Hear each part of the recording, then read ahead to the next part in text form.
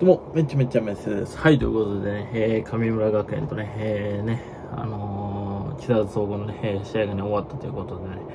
えー、まあもうこれに関しては、まあもう両者ね、えー、ともにね、えー、もうめちゃくちゃね、えー、満点のね、取り合いでね、えー、まあもう見とって思ったのは、やっぱり、うん、もうこれね、でも難しいところなんですけど、やっぱ結局、エラーですよね。ほんまにやっぱり、えー、木更津総合エラー3つで、で、上村1個と。でね、えー、投手力とか、まあ、その打撃に関しては、えー、もう両者ともにね、ほんまにね、良かったと思います。えー、千葉君の、えー、千葉君っていうね、え、ローボールにね、えー、基盤ね、スライダー、えー、まっすぐあるね、えー、非常にね、いいピッチャーに対して、やっぱ上村の打線も、あのね、春よりかね、ほんま2、3倍ね、本当に良くなってて、で、やっぱりその逆方向にね、えー、前から鋭く速い打球を打てる。えー、これがね、えー、今年のね、ほんまにね、上村のなんかね、成長したね、姿やなっていうのがね、ほんまにこの甲子園でも、え思えたんで、で、やっぱりあの、正林くんね、で、やっぱ正林くんのあの、1打席目の、あの、左中間の打球かな。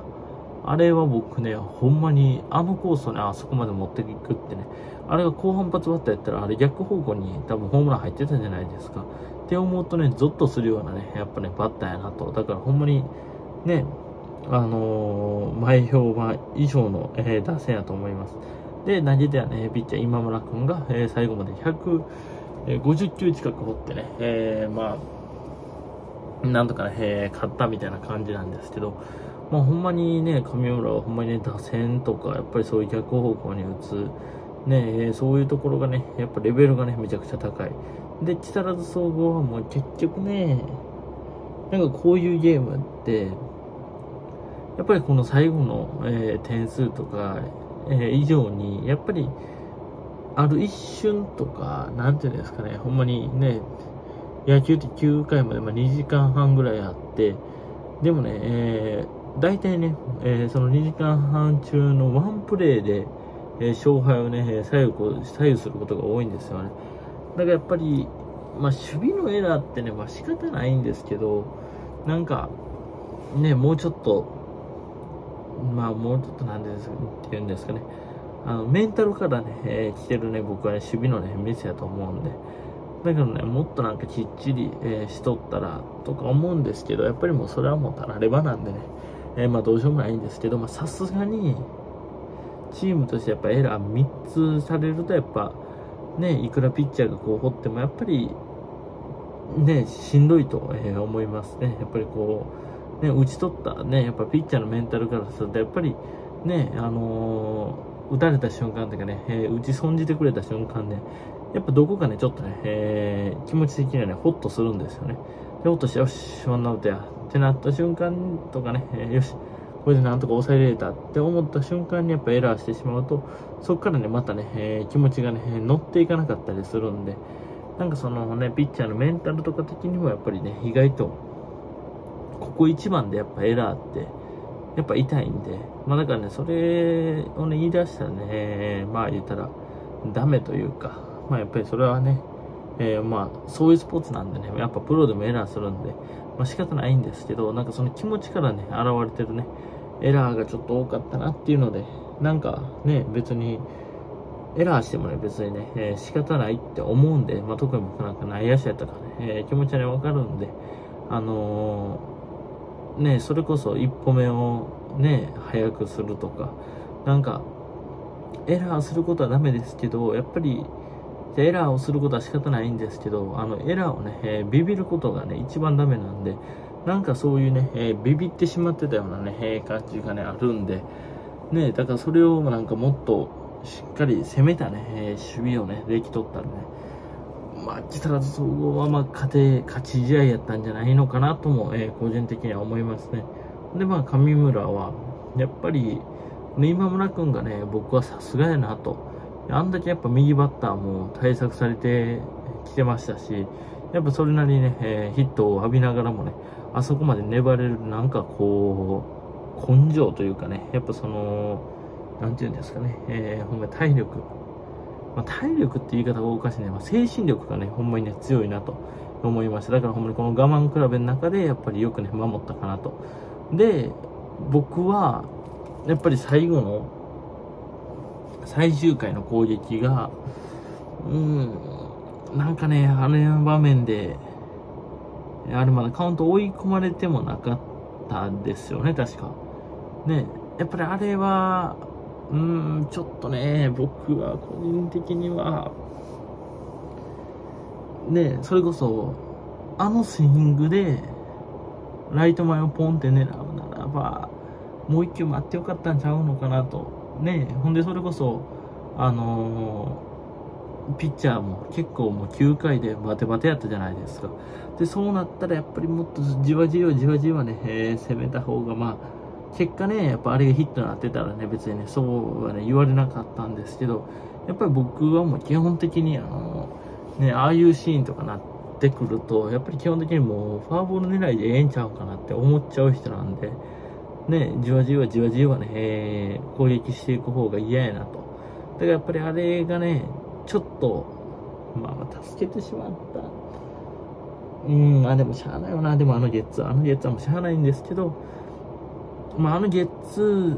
にできたやっぱりバッテリーと、ほんで僕は、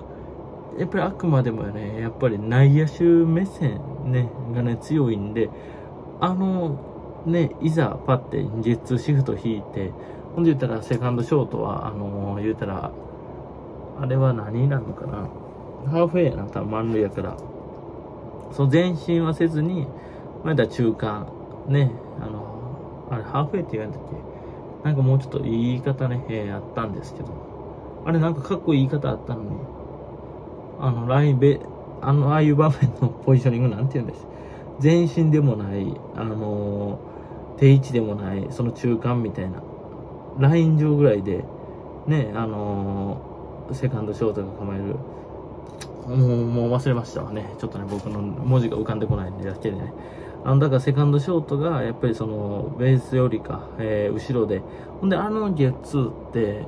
結局、全部セカンドゲッツーじゃないんですよ、ああいうのって。打球が緩かったら、あれホームでフォースアウトに取るっていうね、え、まあたらね、そういうね、内野手のシフトやったんですよ。で、そこでセカンドゴロ来て、あれを完璧にゲッツーにできる守備力の硬さっていうところに僕は、お、うまってなってしまいましたね。だからさすが、この上村やなと。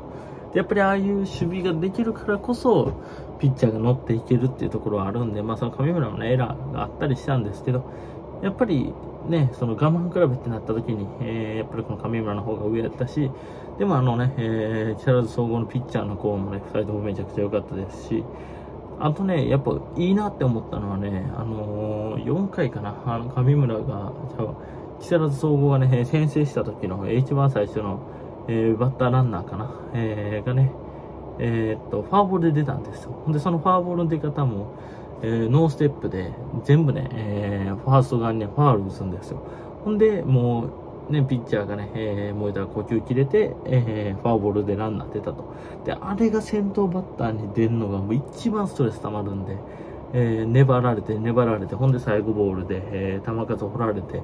で、今から、うわ、先頭でこうやってランナー出るし、球数掘らされるし、みたいな、精神的一番きついんで、だからあの木更津高総合のあのバッターはね、めちゃくちゃいいなと思ったんですけど、次の打席ね、多分おそらくね、あっさり三振しとったじゃないですか。何してんねんみたいなね、一冊決めのやつどこ行ってみたいな感じにね、ちょっと思ったんで、あの、ああいう攻めをね、するチームって、評判はね、あまりね、えー、良くないですけど、その率とかがね、え、データ的にね、見るとね、良くないんですけど、見る人がね、見たらね、非常に厄介なね、え、バッターなんで、